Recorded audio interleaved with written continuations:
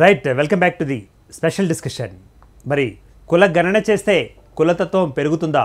ఒకవేళ పెరిగితే ఏ స్థాయికి దారితీస్తుంది? ఎటువంటి పరిణామాలకు అది దారితీస్తుంది? మరి ఈ యొక్క అంశం మీద మరి ఈ యొక్క వ్యా ఈ యొక్క వాక్యం అనేది శాస్త్రీయ భద్రత ఎంతవరకు ఉంది? అశాస్త్రీయమైన భద్రత ఎంతవరకు ఉంది? అనే అంశాలను ఇప్పుడు చర్చించుకోబోతున్నాం.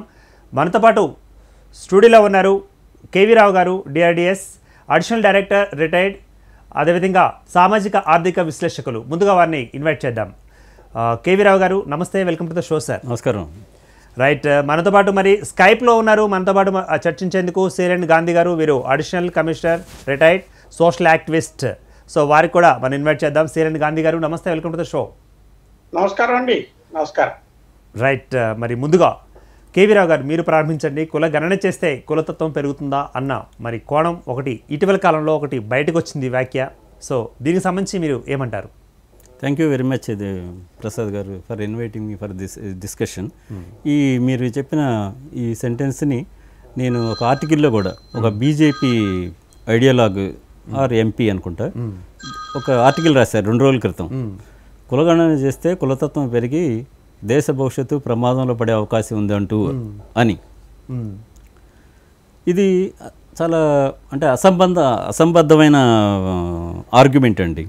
ఈ దేశంలో మతపరంగా లెక్కలు తీస్తున్నారు. మరి మతత్వం పెరుగుతుందా?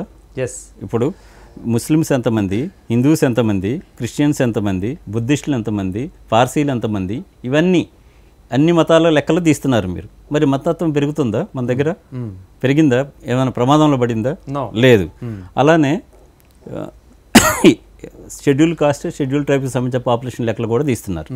ఓకే దాని మూలాన ఏమన్నా కులతత్వం పెరిగిందా?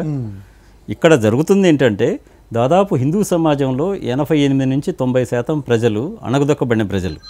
హిందూ సమాజం అనేది క్లియర్గా నేను యూజ్ చేస్తున్నాను అనమాట ఈ దేశంలో మిగతా వాళ్ళని అకౌంట్ పెడితే. ఓకే. సో వీళ్ళ మూలాన కులతత్వం వీళ్ళ లెక్కలు తీస్తే కులతత్వం పెరగటం ఏంటి? కులతత్వాన్ని పాటించేది ఎప్పుడు అగ్రవర్ణాలు. ఓకే? పాటించేది వాళ్ళు. దూరంగా అంటే అన్టచబిలిటీని పాటించింది వాళ్ళు. ఓకే? సమా మిగతా వాళ్ళకి కుల ముద్రలు వేసి దూరంగా సమాజానికి పెట్టింది వాళ్ళు. ట్రైబల్స్ని దూరంగా పెట్టింది విద్యకి సివిలైజేషన్కి దూరంగా పెట్టింది వాళ్ళు. అంటే డెవలప్ ఏది రాకుండా మెయిన్ స్ట్రీమ్లోకి రాకుండా వీళ్ళ లెక్కలేంటో వీళ్ళకి చెప్తే అంటే తీస్తే కులతత్వం ఎలా పెరుగుద్దండి? అసలు అసంబద్ధమైంది. దీనికి రెండు ప్రామాణికాలు ఉన్నాయి. ఒకటి ఏంటంటే మనకు తెలుసు సోషల్ జస్టిస్ ప్రకారం ఈ దేశంలో ఎస్సీ ఎస్టీలకు రిజర్వేషన్ ఉన్నాయి. ఆర్టికల్ త్రీ ఫార్టీ ప్రకారం బీసీసీలు కూడా రిజర్వేషన్ ఇవ్వమని కాన్స్టిట్యూషన్లో ఉంది. దాని ప్రకారంగానే బీసీ కమిషన్ వేయటం బీసీల జనాభా అంటే బీసీ కులాలను ఐడెంటిఫై చేయటం వాళ్ళకి తగిన మోతాదులో రిజర్వేషన్ ఇవ్వటం జరుగుతుంది. ఈ రిజర్వేషన్ యాభై శాతం ఉన్నంత వరకు ఎటువంటి ఇబ్బంది జరగలేదు. యాభై శాతం దాటి రిజర్వేషన్ పెట్టినప్పుడు రిపీటెడ్గా Supreme Court the highest court in this country రిపీటెడ్గా సుప్రీంకోర్టు చెప్పింది ఏంటంటే మీరు ఎక్స్ట్రాడినరీ సిచ్యువేషన్లోనే యాభై శాతం దాటాలి. దానికి ప్రాపర్ జస్టిఫికేషన్ సైంటిఫిక్ జస్టిఫికేషన్ ఉండాలి. సైంటిఫిక్ జస్టిఫికేషన్ ఉండాలంటే పాపులేషన్ లెక్కలు కావాలి. మీరు బీసీలని ఒక నూట ఇరవై కులాలను తీసుకొచ్చారు. వీటి పాపులేషన్ ఎంత? మొత్తం పాపులేషన్లో వీళ్ళ పాపులేషన్ ఎంత? ఇది అథెంటిక్ ఫిగర్స్ లేనంత కాలం మీరు యాభై శాతాన్ని దాటానికి వీల్లేదు ఓకే. అని క్లియర్గా చెప్పడం జరిగింది. నాట్ ఓన్లీ దట్ ఇది ఒకసారి కాదు.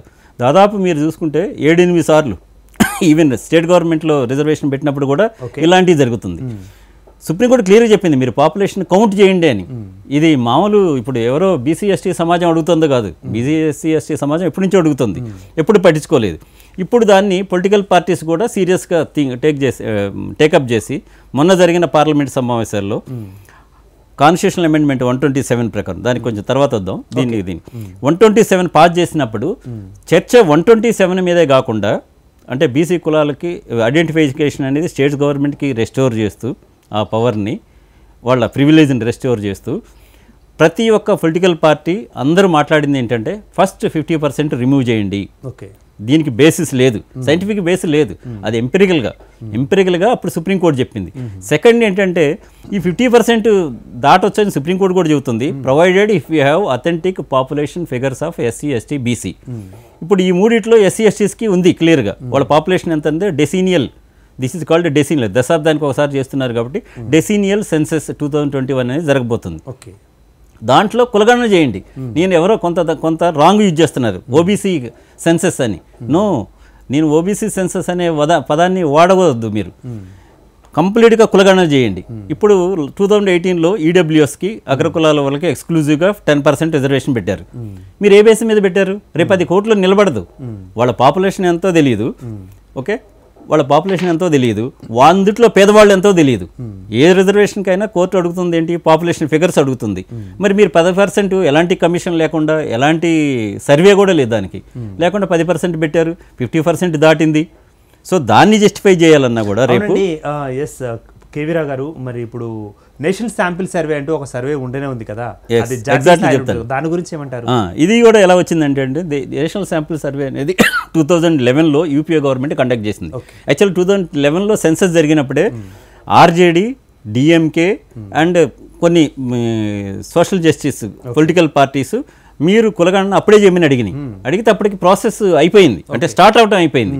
సో అప్పుడున్న UPA government Manmohan Singh government ఏమైందంటే ఓకే మేము దీంట్లో ఇంక్లూడ్ చేయలేకపోయాం. ఇది అయిన వెంటనే మేము socio economic survey of OBCs అని ఒకటి కమిషన్ చేస్తాం.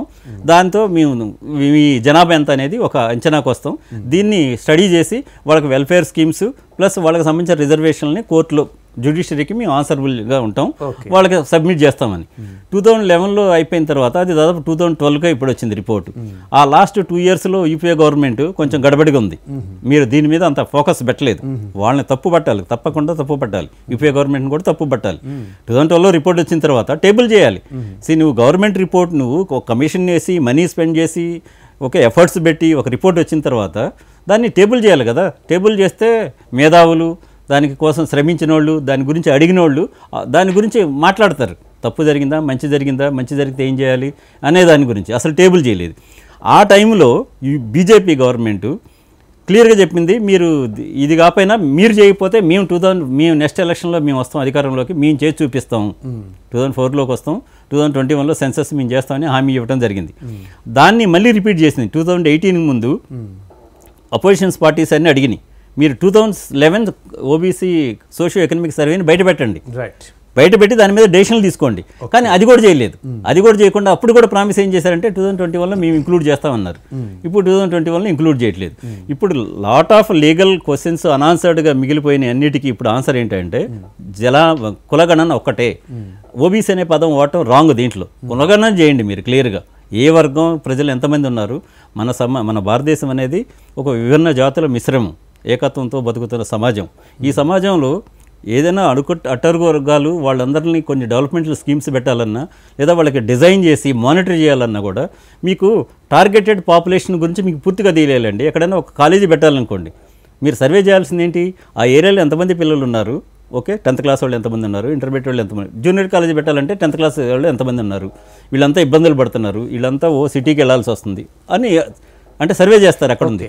అలానే మీరు ఓబీసీలకి ఏదైనా చేయాలంటే రిజర్వేషన్ ఇవ్వాలన్నా వెల్ఫేర్ స్కీమ్స్ పెట్టాలన్నా మీరు సర్వే చేయాలి. మీ దగ్గర జనాభా ఉండాలి. ఇది లేకుండా మీరు ఏం చేస్తారు? సో ఈ వాదన టోటల్లీ రాంగ్. ఓకే. ఏది కులత కులగణ చేస్తే కులతత్వం పెరుగుద్ది అనేది రాంగ్. ఇది మను సంస్కృతి అనేది ఒక వేల సంవత్సరాలు బట్టి మన ఇక్కడ ఉంది. కులతత్వం అనేది దీంట్లో ఉంది. కులం అనేది రియాలిటీ. మనం ఎంత లేదనుకున్నా కూడా మీకు మీ ఫాదర్ అమ్మ నాన్న పేరు పెట్టక ముందే మీకు వచ్చిన ఫస్ట్ సోషల్ డెసిగ్నేషన్ ఉంటే కులం. ఓకే. మీకు పేరు కూడా పెట్టి పెట్టి ఉండొచ్చు పోవచ్చు. రైట్ సో ఇది సమాజం. రైట్ కేవీరావు గారు. అక్కడికి మరి చక్కగా వివరించడం జరిగింది. ఎస్ మరి సేలన్ గాంధీ గారు తన యొక్క మాటల్లో ఏమంటారో విందామండి. ఎస్ గాంధీ గారు మరి కులగణన చేస్తే కులతత్వం పెరిగిపోతుంది అంటూ కూడా మరి ఒక వ్యాఖ్య బయటకు వచ్చింది. దాని మీద కులతత్వం పెరగదు అంటూ కూడా మరి కేవీరావు గారు చెప్పడం జరిగింది. మరి మీరేమంటారు సార్? నేను కేవీ రావు గారి యొక్క విశ్లేషణతో పూర్తిగా ఏకీపిస్తాను సార్. మ్మ్. కులగణన చేస్తే మీరు అంటున్నట్టుగా కులతత్వం పెరుగుతుంది అన్నది పూర్తిగా అబద్ధం. ఎందుకంటే ఇప్పుడు ఎస్సీ ఎస్టీస్కి కులగణన చేశారు. మళ్ళా రేపు చేయబోతున్నారు. వాళ్ళలో ఏమైనా కులతత్వం పెరిగిపోయిందా. దానివల్ల ఏం లేదు నిజానికి ఈ రిజర్వేషన్ అనేది సార్ ఏ పాజిటివ్ డిస్క్రిమినేషన్ ఈ రోజున సమాజంలో. అన్ని స్థాయిల్లో కూడా అధికారం అగ్రవర్ణాల చేతుల్లోనే ఉంది. సాంఘిక పరమైనటువంటి కానీ. రాజకీయ పరమైనటువంటి కానీ స్థాయిల్లో అన్ని చోట్ల. మైనారిటీలో ఉన్న అగ్రవర్ణాల వారే. ఈ రోజున ఏలుతూ ఉన్నారు. ఇది వ్య- వ్యవస్థాగతంగా వస్తుంది సార్. అంటే ఎక్కడ యాభై శాతం ఇవ్వాలి అనేది సుప్రీంకోర్టు వారు ఇచ్చినటువంటి భాష్యమే తప్పితే చట్టపరంగా ఏం లేదు. అదేమిటంటే సుప్రీంకోర్టు వారు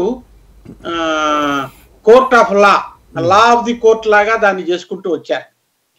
ఇంకా అన్యాయం ఏం చేశారంటే సుప్రీంకోర్టు వారు పంతొమ్మిది వందల తొంభై మూడులో క్రీమీ లేయర్ అనే కాన్సెప్ట్ తీసుకొచ్చి కొంత ఏది బ్యాక్వర్డ్ క్లాసెస్లో ఉన్నతమైన వాళ్ళని ఎలిమినేట్ చేయాలనే దాంతో క్రీమీ లేయర్ కాన్సెప్ట్ తీసుకొచ్చారు. దీనివల్ల ఏం జరిగింది అంటే ఎక్కువ ఓబీసీ కోసం కేటాయించబడినటువంటి ఉద్యోగాలు ఖాళీగా ఉండిపోతున్నాయి.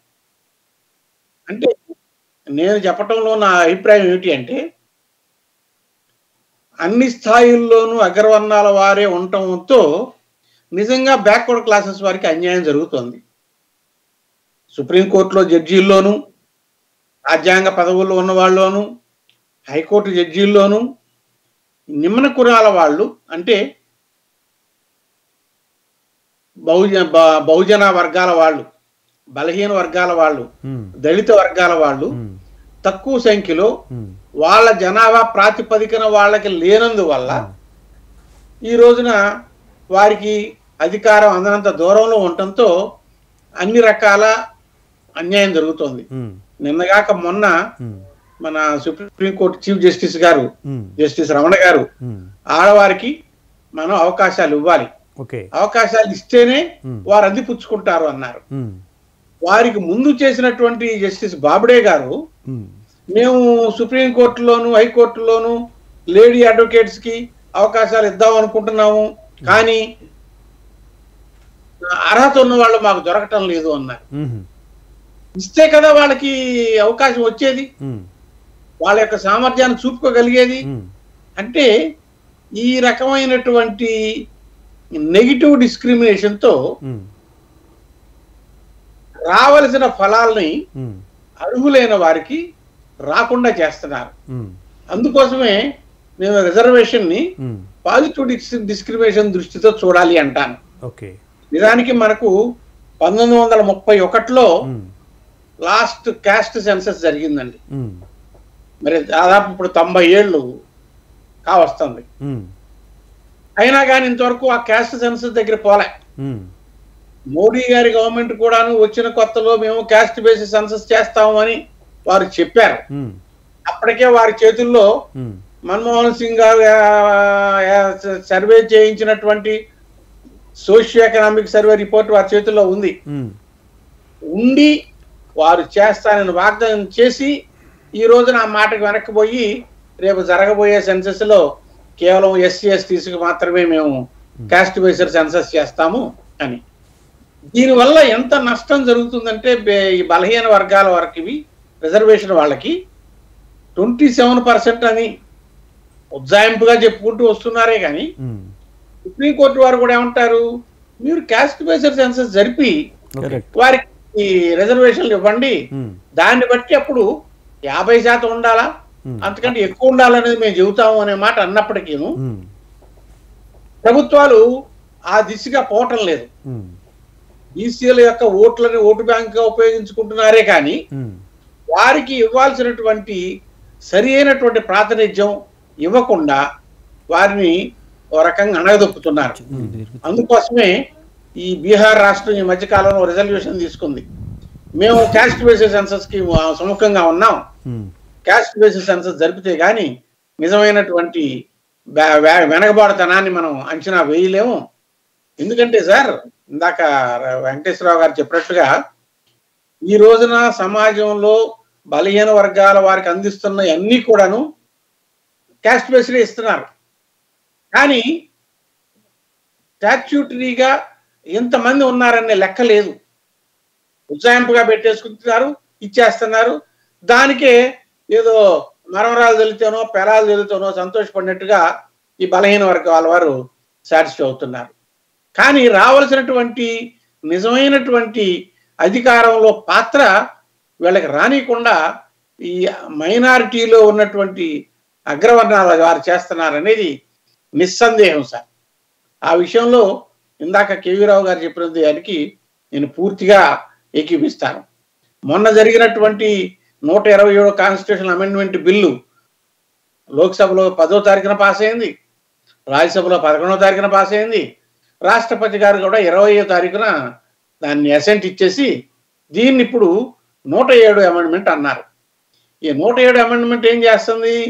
రాజ్యాంగంలో అంతకు ముందే ఉన్నటువంటి నూట రెండు అమెండ్మెంట్ని ప్రకారం ఇచ్చినటువంటి మూడు వందల ముప్పై ఎనిమిది బి ఆర్టికల్ మూడు వందల నలభై రెండు ఏ ఆర్టికల్ని వాళ్ళు క్లారిఫై చేస్తూ ఏమన్నారంటే రిజర్వేషన్లు కేవలము సెంట్రల్ గవర్నమెంట్స్కి మాత్రమే సెంట్రల్ గవర్నమెంట్ చేస్తుంది.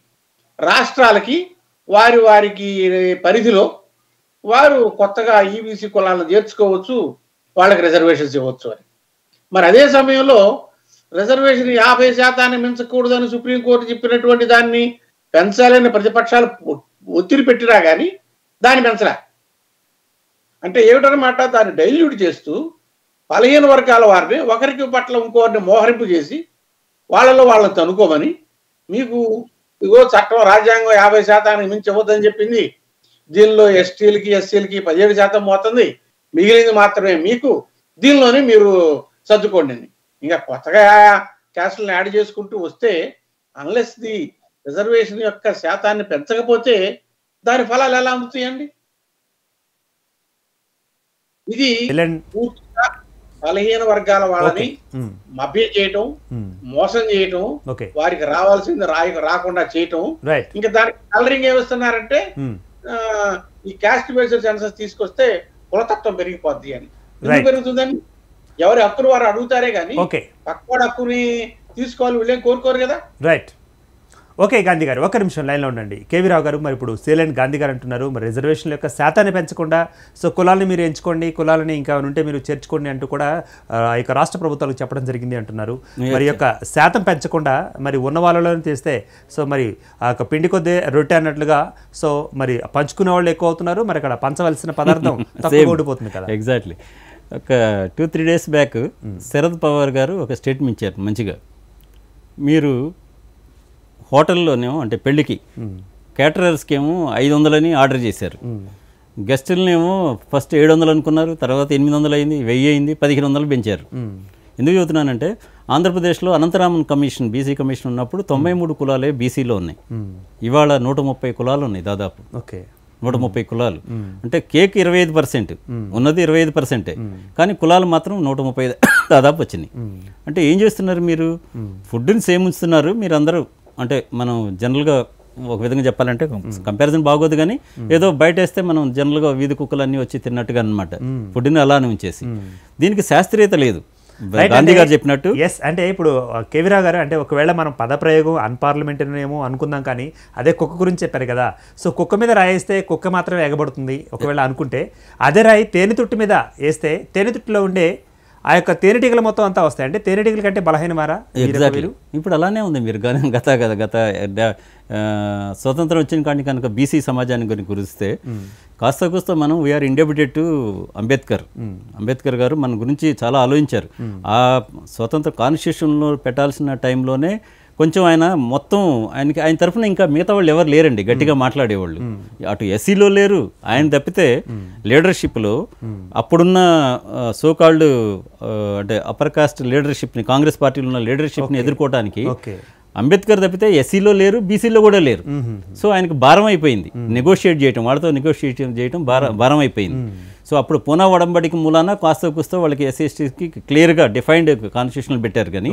ఓబీసీలకి వేసేసరికి ఒక ఒక ప్రొవిజన్ పెట్టాడు ఆయన ఆర్టికల్ పెట్టాడు. పెట్టి భవిష్యత్తులో వీళ్ళకి కూడా కమిషన్ ఏర్పాటు చేసి ఆ కమిషన్ రిపోర్ట్ వస్తే తర్వాత టేకప్ చేయొద్దని చేయొచ్చు అనే ఉద్దేశంతో నేను ఈ పాయింట్కి వస్తాను యాక్చువల్ కుల కులగణన చేస్తే కులతత్వం పెరుగుద్ది అనేది ఎట్లా అండి మనం పుట్టంగులోని ఫస్ట్ తల్లి మన తల్లిదండ్రులు మనకు పేరు పెట్టక ముందే మనకి కులాన్ని అంటగడుతుంది. ఎవరు అంటగడుతున్నారండి? ఈ సమాజం అంటగడుతుంది కదా. సమాజంలో ఎవరు అంటగడుతున్నారు? ఎవరైతే పై స్థాయిలో ఉన్న వాళ్ళు అంటగడతారు ఇప్పుడు ఎక్కడన్నా ఎవరైనా మ్యారేజెస్ ఏ కులం వాళ్ళు వాళ్ళే చేసుకుంటున్నారా?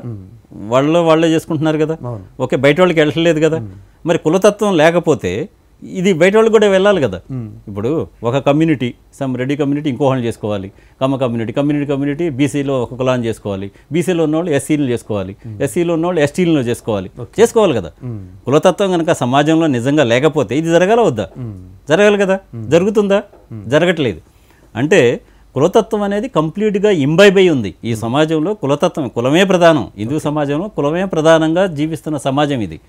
ఇవాళ ఏదో కులగణన చేస్తే కులతత్వం పెరుగుద్ది అనేది అబ్సల్యూట్లీ రబ్బిష్ అండి అది. ఓకే. అది అసలు అది రీజనే కాదు. సెక్ ఆన్ ది అదర్ హ్యాండ్ చాలా సుప్రీంకోర్టు జడ్జిమెంట్లు ఉన్నాయి. మీరు కులగణన చేయండి గవర్నమెంట్కి. వాళ్ళు వాళ్ళు కూడా సూచన చేశారు కానీ ఆర్డర్ చేయలేదు. ఆర్డర్ చేయలేరు కదా ఎవరైనా అడిగితే ఆర్డర్ చేస్తారు. రిలీఫ్ అనేది ఎప్పుడైనా వస్తుంది వస్తుందంటే కోర్టు ఎప్పుడు రెండు రకాలుగా ఇచ్చుద్దండి రిలీఫ్.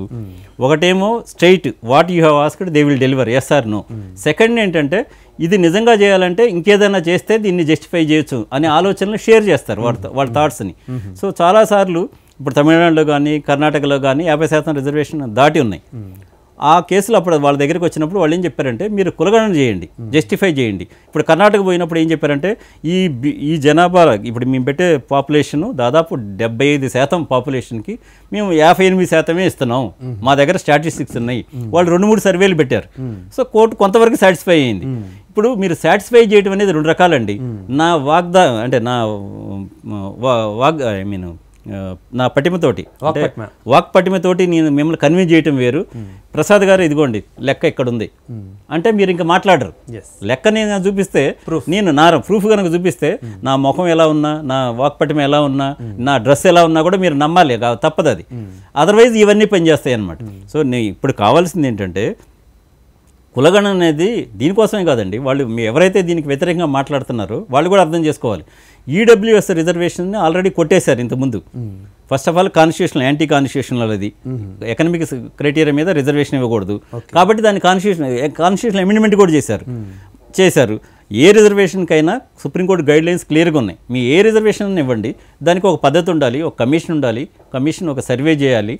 వాళ్ళు రిపోర్ట్ ఇవ్వాలి రికమెండ్ చేయాలి. దాన్ని క్యాబినెట్ అంటే పొలిటికల్ లీడర్షిప్ దాని గురించి తరోగా ఆలోచించాలి. చేసి జస్టిఫై చేసి మీరు బిల్లు పెట్టి పాస్ చేయండి మానిటర్ చేయండి ఆ తర్వాత. అది కోర్టులో కూడా నిలబడుద్ది. కోర్టు సమయం కూడా వేస్ట్ చేయకూడదు కదా. ఇప్పుడు మరి ఈడబ్ల్యూఎస్ రిజర్వేషన్కి ఏది లేదు. కమిషన్ రిపోర్ట్ లేదు వాళ్ళ జనాభా ఎంతో తెలియదు మరి మీరు పది పర్సెంట్ ఎట్లా అంటారు నేను అంటాను టూ పర్సెంట్ చాలంటాను నేను. ఇంకొకళ్ళు లేదు పదిహేను పర్సెంట్ కావాలంటారు. ఈ రెండుకి ఎక్కడ వస్తుంది ఆన్సర్? మీరు కులగణన చేస్తేనే వస్తుంది. ఎవరైనా ఇది రాంగ్గా యూజ్ చేస్తే మనం వాళ్ళని కరెక్ట్ చేయాల్సిన అవసరం ఉంది. ఓబీసీ కులగణన కాదు నేను అంటుంది. మొత్తం కులగణన చేయండి. ఓకే. ఇది కొత్త కాదు ఈ సమాజానికి. భారతదేశానికి కొత్త కాదు ఇది. నైన్టీన్ సెవెంటీ సెవెంటీలో సారీ సెవెంటీన్ సెవెంటీలో స్టార్ట్ అయింది. ఓకే? ఎయిటీన్ సెవెంటీలో స్టార్ట్ అయింది. నైన్టీన్ థర్టీ వన్ వరకు జరిగింది. నైన్టీన్ ఫార్టీ వన్ ఫార్టీ టూలో రెండో ప్రపంచ యుద్ధం వలన జరగలేదు కాబట్టి ఆ తర్వాత నువ్వు కన్వీనియంట్గా మర్చిపోయావు దాన్ని. ఓకే. ఎందుకు ఆన్సర్ చేయాల్సిన అవసరం ఉండదు వీళ్ళని ఇలానే ఉంచాలనే ఉద్దేశంతో తప్పితే మీరు ఆనెస్ట్గా కనుక మీరు ఆలోచన చేస్తే మీరు తప్పకుండా చూసుకోవాలి. ఇప్పుడు ఒక విలేజ్లో ఏదన్నా చేయాలన్నా నేను జూనియర్ కాలేజ్ పెట్టాలన్నా లేకపోతే డిగ్రీ కాలేజ్ పెట్టాలన్నా ఏదైనా ఒక ఒక ఒక ప్లాన్ ప్రకారం ఏదైనా కట్టాలన్నా ఆ ఏరియాలో ఉన్న నీడ్స్ని ఆలోచిస్తారా లేదా? అక్కడ ఉన్న సమాజానికి ఏం కావాలనేది. అలానే ఇప్పుడు ఏదైనా డెవలప్మెంట్ స్కీమ్లు పెట్టాలండి. మీకు జనాభా ఇప్పుడు మన కేసీఆర్ గారు హుజూరాబాద్ కాన్స్టిట్యున్సీకి దళిత బంధు ప్రత్యేకం పెట్టారు. ఆయన ఆన్ ది స్పాట్ చెప్పాడు. ఈ కాన్స్టిట్యున్సీలో ఇన్ని ఇరవై వేల మంది దళిత ఫ్యామిలీస్ ఉన్నాయి. ఇంత ఖర్చు అవుద్ది. ఇది చేస్తాను నేను. తర్వాత శాంపుల్ శాంపుల్ బేస్ మీద మిగతా కాన్స్టిట్యున్సీలు పెడతాను ఎలా చెప్పగలిగారు ఆయన? ఆయన రాంగ్లోనే ఒక సమగ్ర కుటుంబ సర్వే అని ఒకటి చేశారు ఆయన. టీఆర్ఎస్ గవర్నమెంట్ చేసింది. కాబట్టి వాళ్ళ దగ్గర కంప్లీట్ స్టాటిస్టిక్స్ ఉన్నాయి. అలాంటిది పెట్టండి చేయండి. వాళ్ళు కూడా బయట పెట్టలేదు అది వేరే విషయం. వాళ్ళు కూడా బయట పెట్టి ఉండాల్సింది. బయట పెడితే మన ఇప్పుడు local బాడీస్లో thirty three percent twenty one పర్సెంట్కి వచ్చేవి కాదు. అక్కడ ఆయన సబ్మిట్ చేయలేదు. ఆ గవర్నమెంట్ టీఆర్ఎస్ గవర్నమెంట్ సుప్రీంకోర్టులో డిఫెండ్ చేయలేదు. ఓకే. అది ఇదేంటంటే ఇదెందుకు? కులగణన లేకపోవడం మూలనే ఈ సెట్ బ్యాక్స్ అన్నీ వస్తున్నాయి. సుప్రీంకోర్టు కావాల్సింది కూడా అదే. మనకు కావాల్సింది కూడా అదే. ఇప్పుడు కులగణన అనేది చాలా వాస్తవిక పరిస్థితికి అద్దం పట్టేటట్టుగా ఉంది. కులగణన జరగాలనేది చాలా ఇంపార్టెంట్ ఇష్యూ. అండ్ ఒకసారి చేస్తే మీకు సెంట్రల్ గవర్నమెంట్కి స్టేట్ గవర్నమెంట్ స్టేట్ స్టేట్ గవర్నమెంట్కి మిగతా ఏజెన్సీకి కూడా. ఒకటి ఏంటంటే రెండవ పాయింట్ నేను ఏమంటున్నానంటే అఫీషియల్గా చేయడానికి మీరు నో అంటున్నారు. కానీ అన్అఫీషియల్గా మీరు చూడండి ఇప్పుడు కులం లేక కులాన్ని కౌంట్ చేయకుండా టికెట్లు ఇస్తున్నారండి పొలిటికల్ పార్టీస్ ఏ పొలిటికల్ పార్టీ అయినా కులాన్ని బట్టే టికెట్లు ఇస్తున్నారా? మొత్తం వాళ్ళే మేనేజ్ చేస్తున్నారు కదా. ఏ కులంకి ఎంత ఇవ్వాలని వాళ్ళే డిసైడ్ చేస్తున్నారు. మరి కులతత్వం లేనిది ఎక్కడండి? కులతత్వం ఉంది. కంప్లీట్గా ఉంది. కాకపోతే దానివల్ల హామ్ లే హామీ ఏం లేదు. ఎవరి కులం అనేది ఎంత అనేది తెలిస్తే హామీ ఉంది. వాళ్ళ సమాజాన్ని గురించి వాళ్ళు అర్థం చేసుకుంటారు. సో తప్పకుండా చేయాల్సిన విషయం ఏంటంటే కులగణన చేసి తీరాలి. ఇది మొత్తం యునానిమస్గా ఈ దేశంలో అన్ని ఉన్న పొలిటికల్ పార్టీస్ ఇంక్లూడింగ్ కొంతమంది బీజేపీ ఎంపీస్ కూడా అడగడం జరిగింది. అండ్ ఇదే కాదు ఇంకొక లాస్ట్ ఇంకో పాయింట్ చెప్పదలుచుకున్నా సుప్రీంకోర్టులో ఆల్రెడీ ఒక రిట్ ఉంది. ఫర్ ఇన్ఫర్మేషన్ టూ థౌజండ్ ఎయిటీన్లో చేసింది. అది ఎప్పుడు హియరింగ్ వస్తుందో తెలియదు సుప్రీంకోర్టు క్లియర్గా సెంట్రల్ గవర్నమెంట్కి చెప్పింది. కులకరణ చేయడం కోసం మా దగ్గరికి వచ్చారు. మీరు అఫిడవిట్ దాఖలు చేయమని. దానికి ఆ అఫిడవిట్ ఇంతవరకు దాఖలు చేయలేదు. సో ఇలాంటి అక్రమాలు గాంధీ గారు చాలా కరెక్ట్గా ఎక్స్ప్లెయిన్ చేసినట్టు ఇలాంటి అక్రమాలు గత స్వాతంత్రం వచ్చిన కాంచి ఇప్పటి వరకు జరుగుతూనే ఉన్నాయి. సో వీటిని ప్రివెంట్ చేయాలంటే ఏదో ఒక రోజున కులగణన చేసి తీరాలి ఈ సమాజంలో. రైట్ కేవీరా గారు మరి If you like this video, please like it, share it, and for more videos, please subscribe to our channel.